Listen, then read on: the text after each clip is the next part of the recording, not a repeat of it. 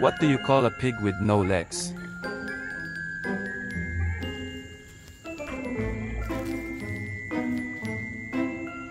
A groundhog.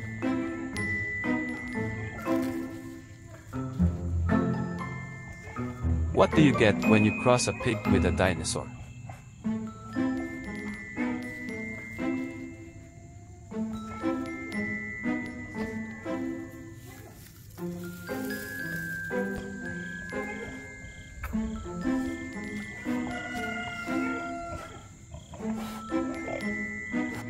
Jurassic Pork.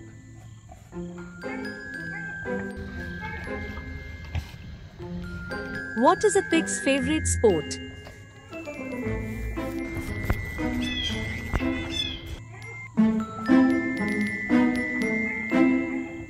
Mud wrestling.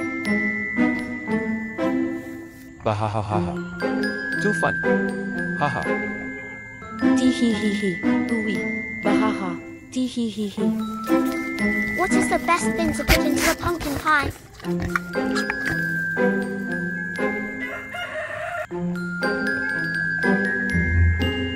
Your teeth. Yum, yum, yum.